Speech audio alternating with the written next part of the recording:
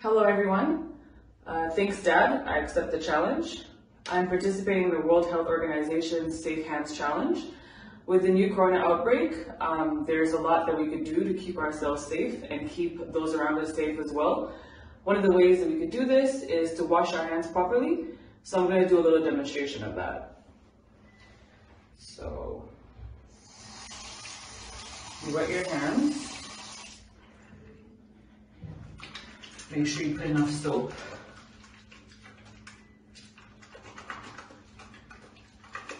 Then you do a thorough clean of your hands, thorough cleaning of your hands. Make sure you get your palms.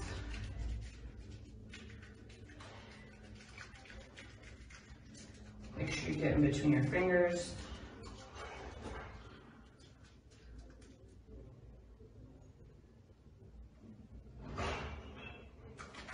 Recommended time to do this is about 40 to 60 seconds.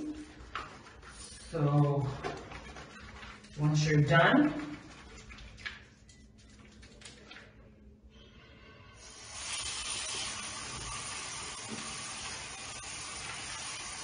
you wash the soap off your hands.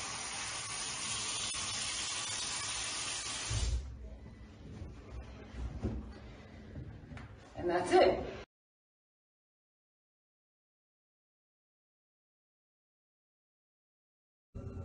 Hey y'all, you see this? I'm washing my hands. You got to wash your hands, kids. Wash your hands for 20 seconds. You can sing happy birthday twice.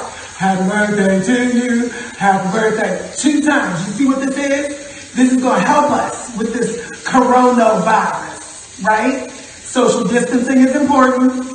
Keep your little asses at home. Social distance yourself so we can pull this curve down and get back to living on the planet.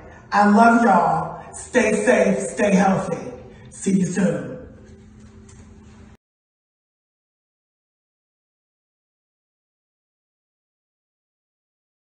This is real important to all my all my kid followers. Y'all make sure y'all wash y'all hands real thoroughly.